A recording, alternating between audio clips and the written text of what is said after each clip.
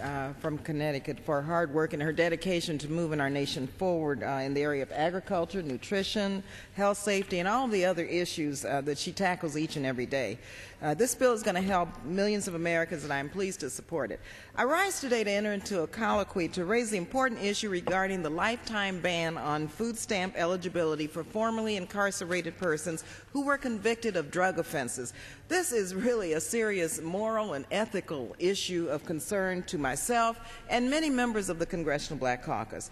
Our Constitution provides the appropriate groundwork for this issue in Article 1, Section 10, and the Fifth Amendment by declaring that individuals are not to be subject to double jeopardy or to be subject to ex post facto laws.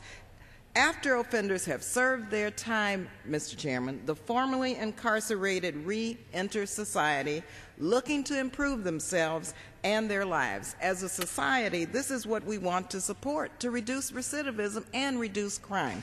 However, the current policy prevents them access to food stamps.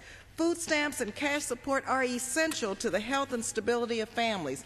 Individuals with criminal convictions face considerable barriers, often needing transitional services and support to improve their ability to acquire gainful employment and transition after incarceration.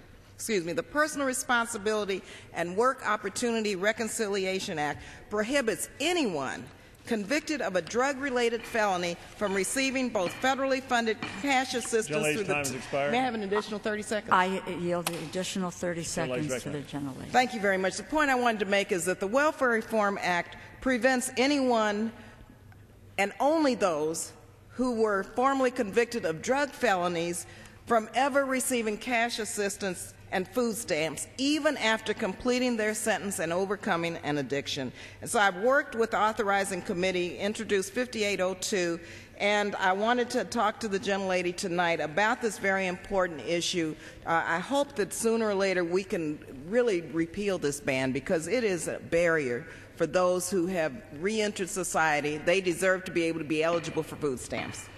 Gentlelady's time has expired. Mr. Chairman, I yield myself 15 minutes. I want to assure the 15 seconds. Thank you. Gentlelady's. Wouldn't that be great? 15.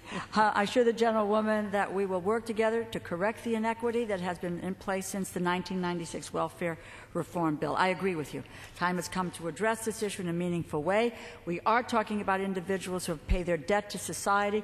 They should be given a new opportunity uh, to make a new life, to provide food assistance for themselves and their families. It's the right thing to do. Gentlelady's time has expired. The Thank you gentleman from very much. Georgia continues to reserve. The gentleman